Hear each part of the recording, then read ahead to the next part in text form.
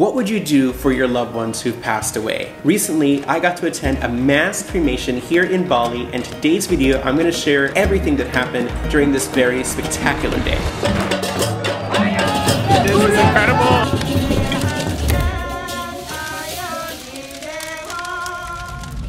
What's up guys, my name is Tim. I'm actually from New York, but I've been living here in Bali for about two and a half years now.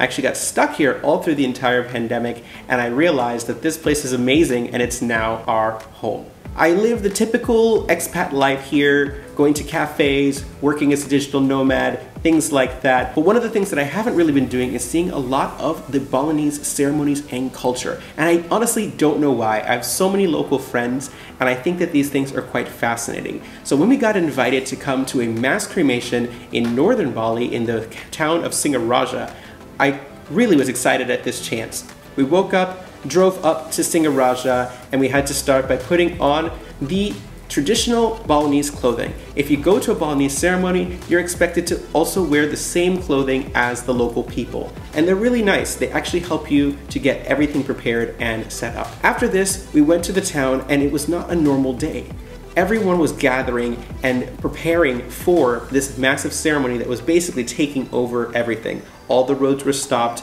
everything was blocked in preparation for this ceremony. When we entered, I saw many, many people all different music being played, all different instruments, and of course the main families and the immediate families of the people who were lost. In the case of this ceremony, I believe there's around 20 or so people being cremated, and many of them were waiting more than five years for this opportunity. You can't have a cremation just any day, so this was a special time and a special day that had to line up for all of this to happen. On top of that, it's extremely financially difficult to do this. Actually, it seems like a cremation and burial here in Bali costs almost the same, if not more, than doing it in America, which is crazy considering the salaries and cost of living is dramatically different. So this is a really big deal and one reason why many people in a village will come together to cremate all their family members from different families at once just to make it affordable. Now, if you come from a wealthier family, you can do your own cremation, which we didn't see today, but I've seen driving around now that I know what to look for. And that's also something that follows the same kind of path, but you get to be in more control over exactly how it's done, when it's done, who is there, etc. I was amazed because unlike many places in the West, people in Indonesia really want to share their culture and traditions with you, especially people from Bali. You're typically invited and welcomed in and they want you to see closely what's happening, explain it to you, take pictures, take videos. I didn't feel in any way, shape, or form uncomfortable. In fact, it looked like my local friend was very happy to see me and the crew show up for this cremation ceremony in Singaraja. Now, we only stayed for, I believe, the main events of the cremation, but it can go on for numerous days, and there can be many different blessings and temples that you go to. But the first part, we went and there were several people dancing and performing while the immediate family looked on. After that, everyone was paraded out with what was realized later the actual remains of their family member in their hand as well as other offerings. And these offerings were huge. You see offerings in Bali all the time, of course. There's many different ceremonies and practices here that require offerings and you see them everywhere. Everywhere you go, in the homes, on the street, on the bikes, everywhere you see these offerings. But this was like a massive version of that. um, definitely there was so much more to this and this is part of the reason why this whole thing can get very expensive as the contents of these offerings can be very, very, very expensive. The whole town seemed to gather and stop in order to see this amazing ceremony. We watched them put one by one, very delicately and gently, all the family members and the offerings into this large structure called a bade. And the bade, as my friends here have told me, is the last ride into a different dimension. So you're in this giant structure and the whole town is taking you down the street it's quite something. It's such a unique experience that I can't explain. So we got as many videos and photos as possible. All right, so Mari and her family are right here.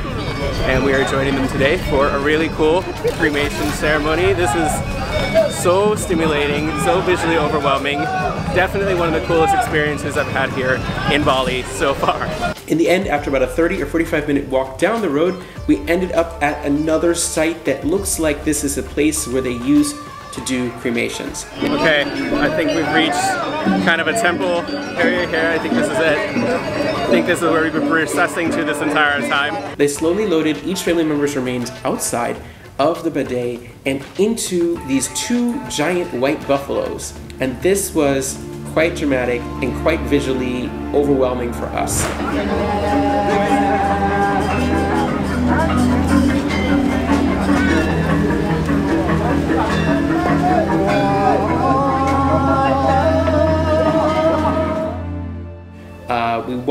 Slowly later as the cremation occurred.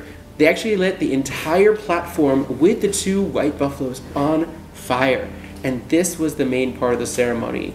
And there were still lots and lots of people there. There were people getting food. There were people mostly with a positive spirit. It wasn't the same kind of spirit at an American funeral. The overall vibe was a vibe of relief there were some people who looked sad and there were some people who were crying, but the majority of people just looked like they were happy for their loved ones taking this important last step in their journey.